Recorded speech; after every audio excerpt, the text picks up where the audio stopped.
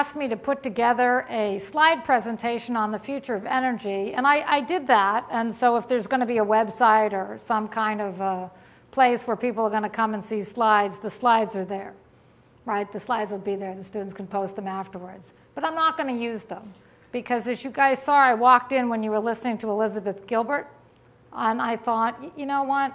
I'm going to give a totally different talk right? Uh, because responding to what she said and, and the subsequent presentation, because that's really what a university is about, is trying to inspire you and capture your imagination on how to be creative in many different fields, right? And the reason a university like Rice has so many different departments and so many different things for you to do is that we don't know what area of science, what area of literature, what area of the arts, what area of public policy is going to strike a chord with you. And that's what makes a great university is having everything here so that something can strike a chord with you. So I want to tell you guys a story. Uh, and if I tell this story and one person uh, comes away with the story and it strikes a chord, then I will have been successful. So several years ago, uh, I, we have a joint venture research project. We look at the geopolitics of oil, which is you know, a very important topic today, uh, given the possibility of war in the Middle East and, and other things that might cut off our supply. And uh, we have a joint venture with a think tank in Japan. And so I go to Japan a lot. And uh, because it's such a long flight, I always bring someone with me. I'm always going around, will you come with me to Japan? Will you come with me to Japan? I'm always trying to grab someone to come with me to Japan. And of course, every time I finally convince someone to come with me to Japan so I can stay an extra two days, I have to turn around and fly 18 hours back, um, I have to take them to Kyoto. So one time, I brought my best friend from high school and college with me. Uh, and she went sightseeing when I was having my academic meetings, and then we went to Kyoto. And we went to uh, a Buddhist uh, garden slash monastery called uh, Ryoanji. And every time I go there, I notice something different. And this time, as I was walking around there, I noticed that everything was in pairs. If I saw a butterfly, I saw two butterflies. If I saw uh, a little bud coming out of a tree that hadn't bloomed yet, I saw two buds.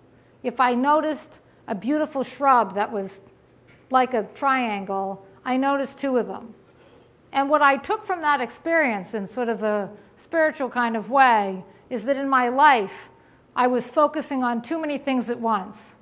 And if I was here with you, I was thinking about what I'm going to have for dinner, right? And if I was having dinner, I was worried about the thing, the presentation that I had to get together after dinner for my morning. And that what I took away from this particular visit to Ryoanji was that I have to focus in on the person I'm with, the project I'm working on, whatever I'm doing, I have to focus on that at that moment. So I'm telling you, the story is going to come back to energy, I promise. Okay? And the interesting thing about Ryoanji and, and doing something like walking around, you know, one of the most beautiful gardens in the world, is that every individual takes something different. And so after about 45 minutes of walking around this garden with this friend of mine, I said to her, Isn't that amazing how everything we're seeing is in doubles? It's all in two, like incredible similar twos. And she hadn't noticed that at all. She said, I don't understand. What are you talking about? And we're walking right next to each other. So years pass, and I'm late for a conference in this very room. And it's a conference celebrating the birthday party of Dr. Neal Lane, who does the Science and Technology Policy program at the Baker Institute. And I'm coming specifically for the energy panel, and I am not speaking. I have arranged for Dr. Richard Smalley, who was the head of the Nanotechnology Center here at Rice, to give the energy speech. And I hadn't seen Rick for a couple of weeks, and we had kept working on this whole question of the intersection between energy policy and energy science.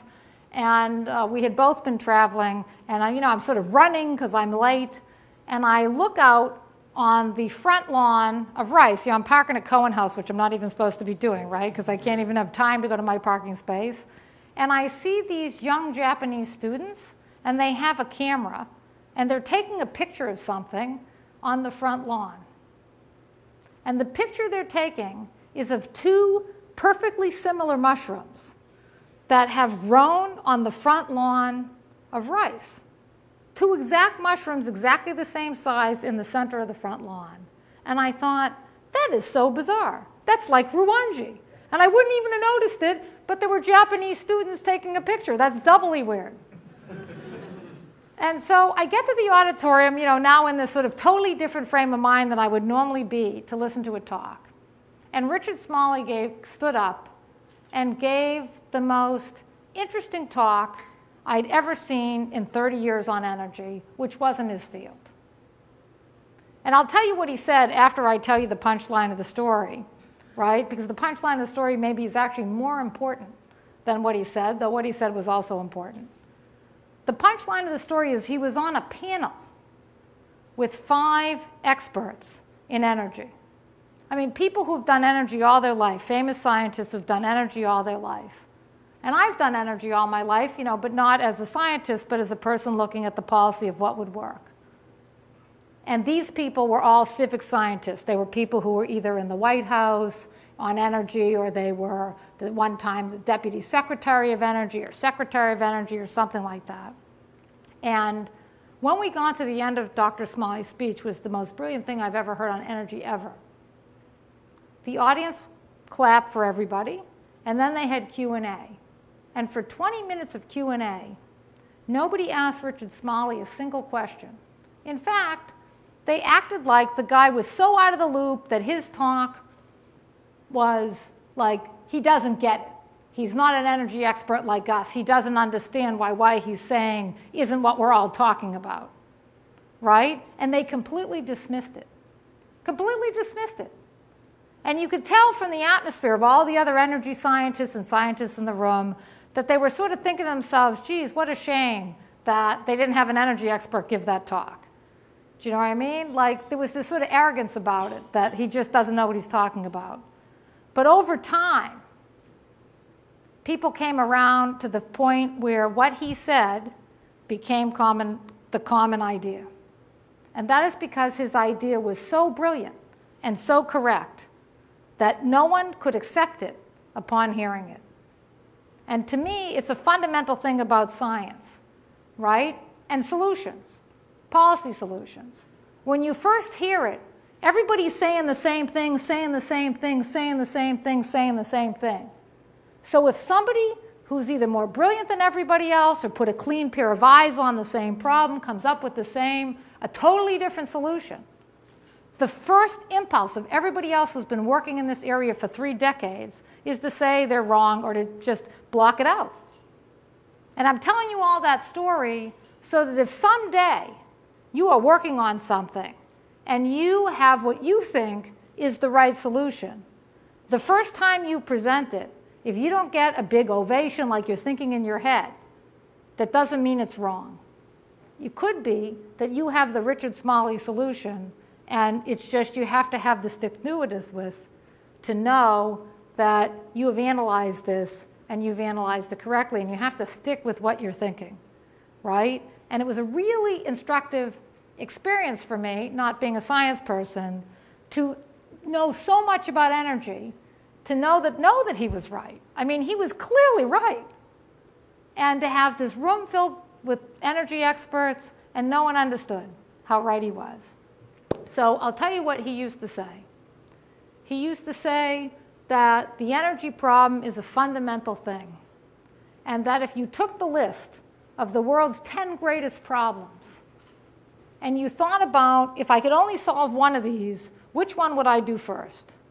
Right? And he used to say, we need to do energy first, because if we solved energy, many of these other problems down the list could be solved. For example, many of you probably study things like clean water and the scarcity of water.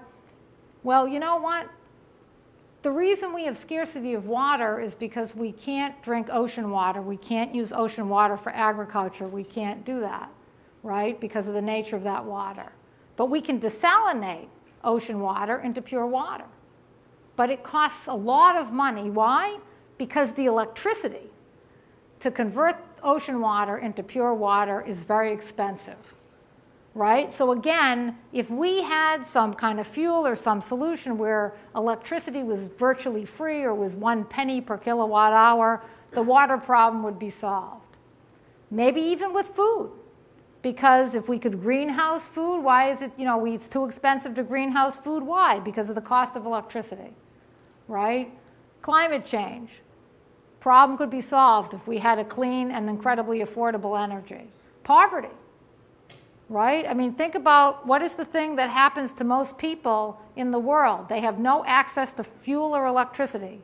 And if you think about your lives, and you would think about yourself as a young person living in sub Saharan Africa, you don't have the luxury to go to school. You have to go out and collect firewood or other kinds of materials to use for heat and light in the evening to cook. You can't go anywhere at a long distance because you don't have access to fuel for a vehicle. Any work you do that's farming or agricultural, you don't have fuel to use a machine, so you have to do it by hand, right? And if you never get access to electricity or fuel, you're never going to get to the next generation being more successful than the generation before it. So this issue of the energy problem is just could dramatically change the world if someone could come up with the solution.